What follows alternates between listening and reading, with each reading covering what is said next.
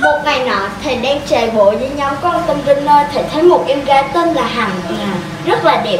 Thầy quyết định ra tán tỉnh tán tỉnh xong là người yêu rồi người đó cũng vô nhóm chạy bộ hai người cùng chạy bộ ngày nào cũng ôm yếm nhau.